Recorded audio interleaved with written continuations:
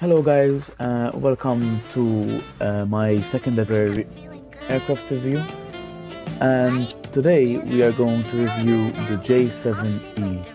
Uh, it's basically the modified uh, Chinese MiG-21 bis. Uh, from a normal delta they put it into a double delta. Uh, now, in game it has one a 30mm Type 30 one cannon. Basically what this is is the same gun as on the MiG-19, so it's pretty good. The problem is you only get 60 ammo, ammo so you have to be quite conservative with your ammo. Uh, the engine is pretty good.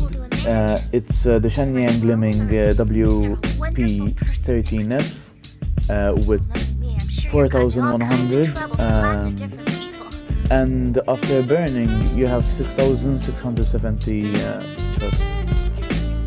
Now, uh, the PL5s, which are the good missiles on this particular jet, are really, really good. And recently they got buffed, uh, and they made them much, much better. Um, the range is crazy. You can get five kilometer kills easily. Um, but yes, the weaponry for air is pretty good. For ground, you have limited capabilities. All you do have is four bombs or two bombs and some rockets, but I don't really suggest this plane for uh, ground capabilities. If you want ground, go for the Q5s or for the F104G and F5A. Um, it flies really, really well. The responsiveness is amazing. The energy retention is really good. You, you, normally don't go really below 500 in a turn. So basically, what it means, energy retention, uh, it's when you out energy an opponent in a dogfight. For example, a MiG-21 bis or a delta wing aircraft like the Mirage or Viggen lose a lot of speed in a turn because of that delta. They have uh, the first two turns which are really good, but then they get fucked in the long run. The J7 it might not have as good as a turn time, but it but in the long run you can either go up you can basically play with your food with this plane uh, in a dogfight, but usually dogfights don't really happen at this tier. Uh, what you do have to be a bit careful though is the compression, but that's all, you know in every plane to be honest. Uh, and I wouldn't really rely on your guns.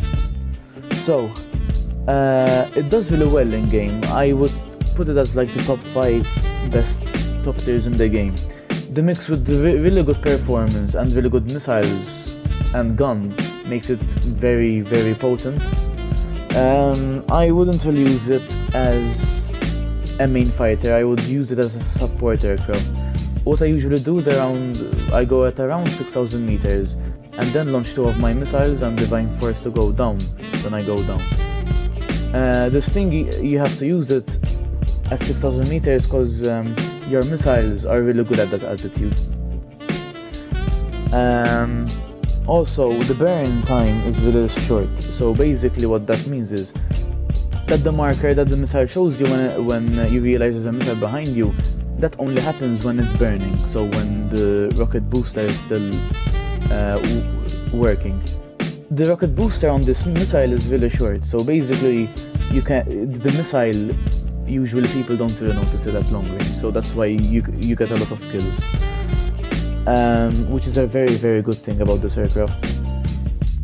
Um, honestly, I wouldn't really say it's worth grinding the whole Chinese tech tree for this, but if you wanted to get the J8 or you grinded the with the A5C the premium, I say it's pretty worth it to be honest. Because the J8 is a bit worse than the J7. This is faster, but they're both they're, they're different aircraft, so you can't really compare them. But um, I wouldn't really say the J7 is worth it to grind the whole tech tree with no premium plane or premium time. Obviously, if, if you have no other tech trees to grind, then go ahead. But by all means, it's a very, very good plane. Not really worth grinding the whole tech tree because it's uh, the tech tree is bigger than Sweden, for example. I grinded Sweden only for the Viggen, for example, and it didn't take me too long because uh, I got two jets in three days, and then when they released the truck, and I just got the Viggen in three other days because I already had rank five like from a year ago. Uh, There's really nothing bad I, I have to say except for the uh, ammo and uh, actually the radar. The radar is the same type of radar as the sabers, so it's just an acquired radar tells you where to lead, although the game doesn't tell you where to lead. So that's a pretty big problem for top tier, because on top tier you do need a good radar to be honest. Um, but honestly, other than that, there's really no problems with the plane. The ammo and the radar are the only problems, but you can work through them. Again, use the plane as a support plane, don't use it as a, as a main fighter. Because MiG-23s, I wouldn't say they will eat you up, but obviously the MiG-23 MLD currently is the best plane in game or all around. Uh, and in the raid fight, I'm pretty sure it will win most times. You can win. I uh, I done it before, so I'm pretty sure you guys can. But I'm just saying, just be a bit weary how you ever use the plane. Anyway, uh, thank you guys for watching. If you have any more questions or suggestions about the planes you want to use and review, uh, comment down below, and I will see you guys next time.